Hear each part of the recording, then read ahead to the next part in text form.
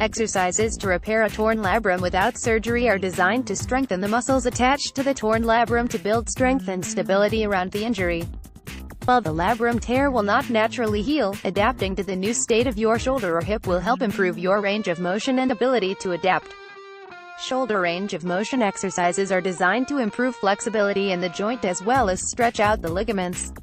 The exercises range from shoulder circles to lifts. To perform a basic shoulder circle, stand next to a table at waist height. From here, place the hand of your non-injured arm on the table for balance. Lean over, bending at the waist until your upper torso is at a 45-degree angle. With your injured arm dangling, rotate it in a clockwise and circular motion, moving it from the shoulder joint without moving your arm. Perform 10 repetitions before rotating in the opposite direction for an additional 10. Hip range of motion exercises help rehabilitate a torn labrum in the joint. The exercises include leg extensions and hamstring stretches. For a basic hamstring stretch, lie on your back with both knees bent and a resistance band or towel in your hand.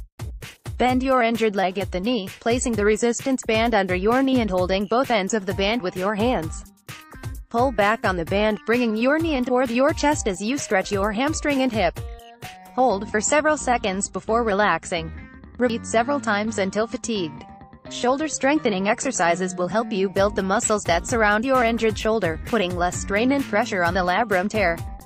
To perform a shoulder shrug, stand straight with your knees slightly bent and arms at your sides. Lift up at the shoulders, bringing them up and in toward your neck.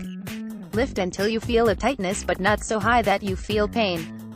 Hold the position for 5 seconds before relaxing. Repeat 10 times or until you are fatigued. Hip strengthening exercises build muscle in your hamstrings, quadriceps and core muscles E to relieve pressure on your joint and labrum tear. The exercises range from hip and knee bends to leg lifts. To perform a leg lift, lie on a bed with your legs extended and arms at your sides.